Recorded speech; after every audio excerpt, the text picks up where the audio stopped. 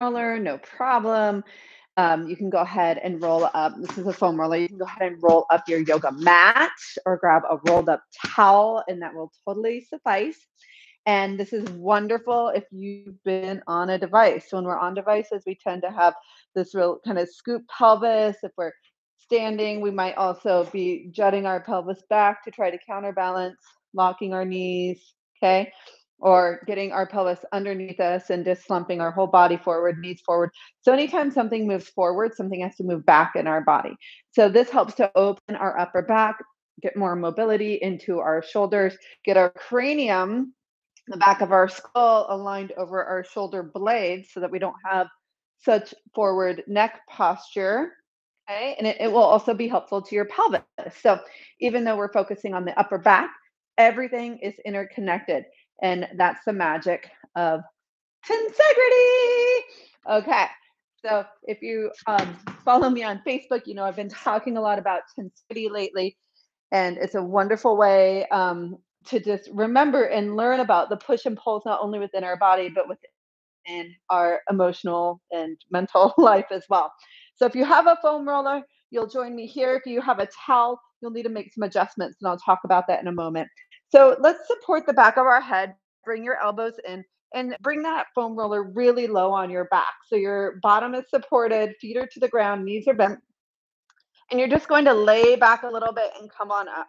So your lowest floating ribs are supported here. We'll do this three times. Then you'll move an inch down on the mat. Okay. We'll repeat that three times. So if you have a towel, you're not going to roll as smoothly. You'll need to actually like pick yourself up and adjust yourself down the mat, but still get the benefits. So dropping back three times, moving about an inch or so up. And as I move up, I can generally go farther back, and then there'll be a point kind of where I'm restricted, usually around where my shoulder blades start start to come into play. Oh, that feels so good. I hope it feels good to you too. All right, rolling down. And then I'm right at where my thoracic spine and my cervical spine interconnect. So now I'm going to repeat that and going down an inch three times, lift and lower. And I'm not pulling with my arms. In fact, I'm actually keeping my head pressing back into my hands here. So I'm not enforcing any of that forward head. I have posture integrity by keeping the pressure of the back of my head into my hands. Mm. I've been doing a lot of asymmetrical lifting lately. This feels really good. Mm, okay. And last one, just getting down as far as you can there. And you might notice this gives you a little bit of core work too. It's harder for me to talk when I'm low. All right. So you can just give yourself a little roll up and down again. Okay. So we'll do a few more moves here. Now we'll take that foam roller or the rolled towel or your rolled yoga mat and you'll bring your um, sacrum up onto it. So stabilize with your feet so you don't roll off. And your whole spine will now be supported by whatever device you're laying upon. So this gives you good biofeedback. The back of your skull, scapula, and your sacrum are all connected here. Now I'm going to just do some angel wings arms. So letting my hands come down to the side. If this is too much for you, you might just stay here and let these tissues start to open. Our chest can get really, really tight for so many reasons. So let this be an opportunity for you to really check in with your system.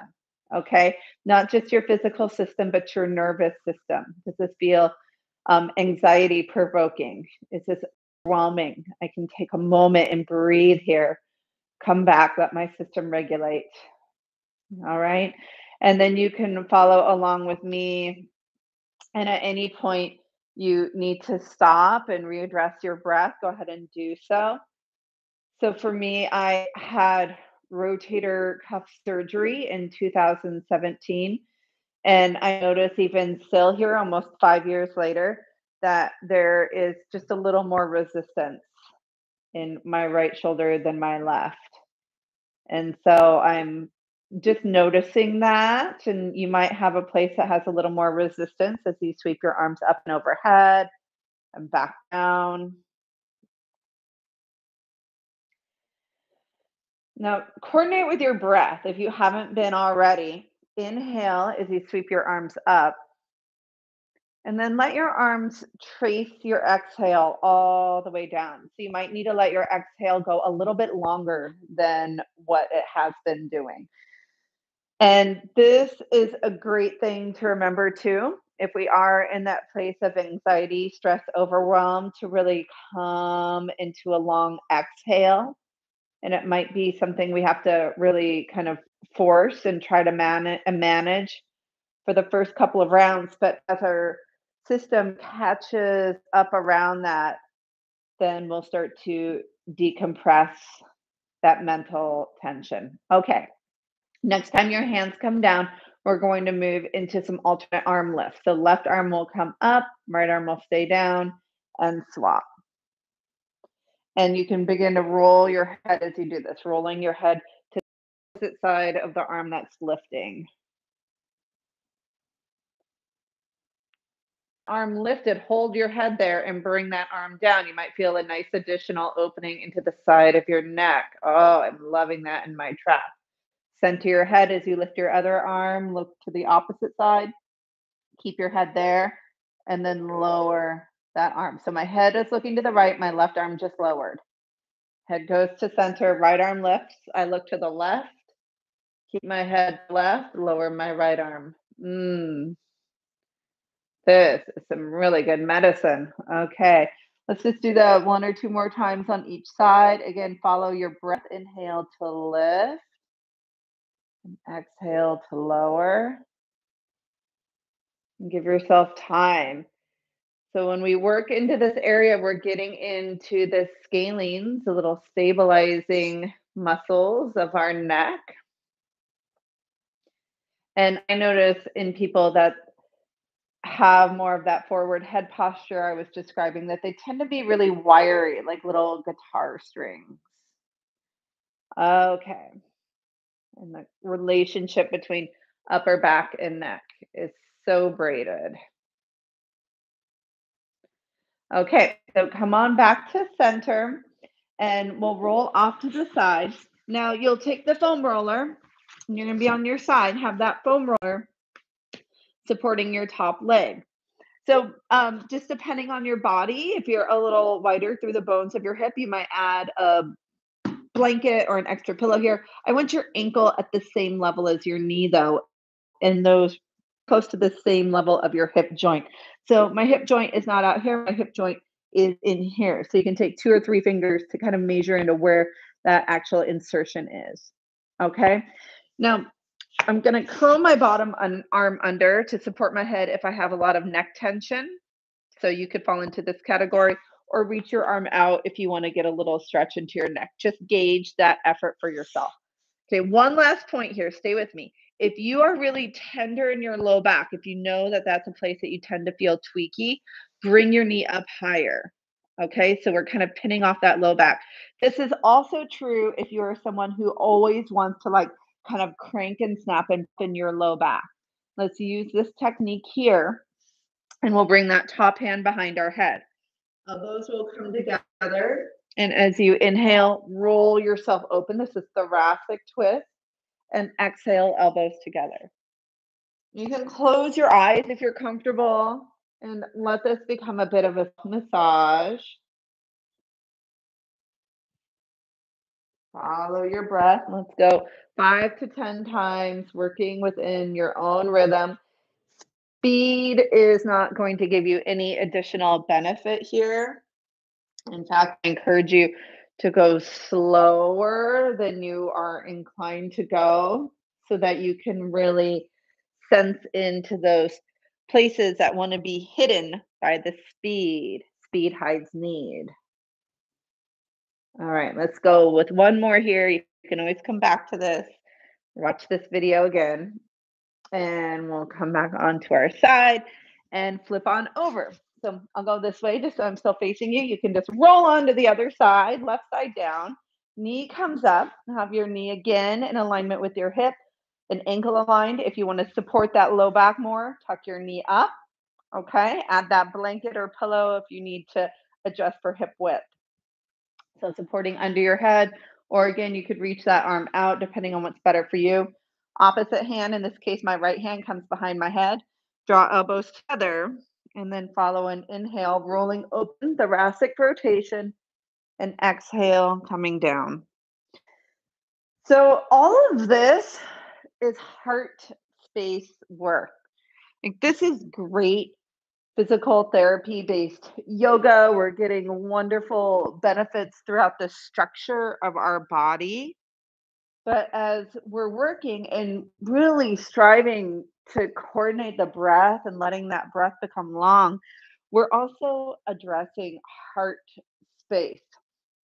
And in this amazing matrix of our heart space, it's 360 degrees. It's not just, oh, what am I extending my heart out to? Who am I extending my heart out to? But it's also how much we're bringing our heart mind into ourselves. And the truth is, we can really only extend our heart out as far as we can extend it within ourselves. So, the more that we know ourselves, the more that we express and practice self love, the more that that can be a mirror of what we're putting out into the world. Okay, let's finish that. You can slide that roller off to the side for right now. And let's just come on up for some good old cat and cows. So stay stable, draw your abdominals in at your low back, and we'll draw our shoulder blades together. So it's a little different than a traditional cat cow. I want you to focus on upper back.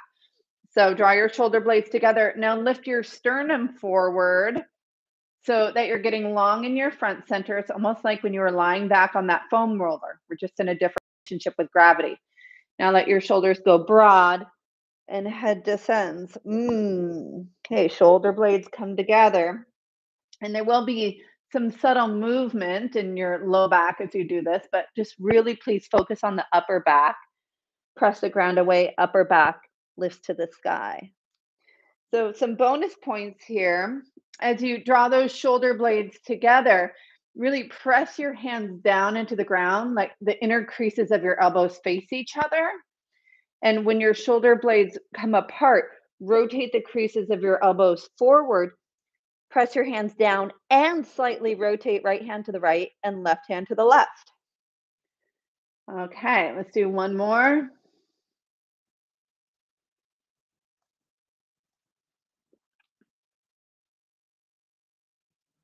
Great. And coming back up to center. And back and take a moment here. You can rest one hand onto your heart, followed by the other hand. And just notice this container of your inner landscape. So we did some work to open up our body, all these outer layers of tissue and fascia, but all the while our breath is working this inner landscape. Just notice these contours. letting your breath become circular. Inhale. Right at the peak of your inhale, start to exhale. Your breath is just tracing around a moon or a sun.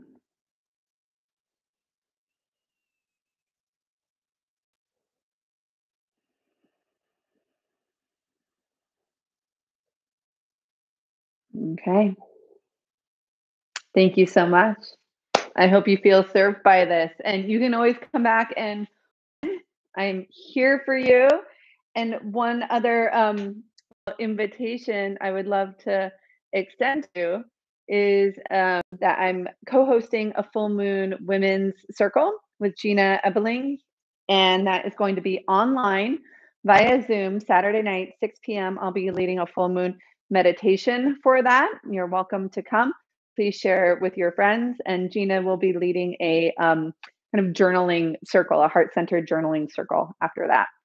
And so much love to all of you. Thank you so much for all of you that showed up live. It's really great to see you.